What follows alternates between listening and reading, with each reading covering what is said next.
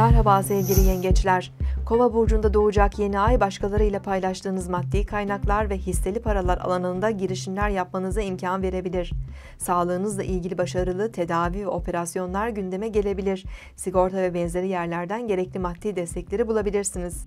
Bugün 19 Şubat 2015 Perşembe, Jüpiter günündeyiz. Saat 01.47'de Ay ve Güneş Kova burcunun 29 derecesinde birleşecek ve yeni ay doğacak.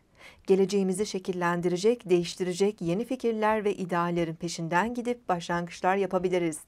Bireysel yaşamlarımızda olduğu kadar Kova yeni ayı toplumsal kavramlarda da önemli yenilik ve değişimleri ortaya çıkarabilir.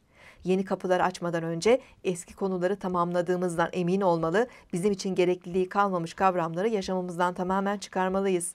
Ancak bu şekilde geleceğe emin ve güvenli adımlarla yürüyebiliriz. Merkür ve Satürn arasındaki uyumlu görünüm, idealist ve orijinal fikirlerimizi uygulamaya koyup pratik sonuçlar almamızı sağlayabilir. Yeni ayın hemen ardından Güneş ve Ay Balık burcuna geçecek.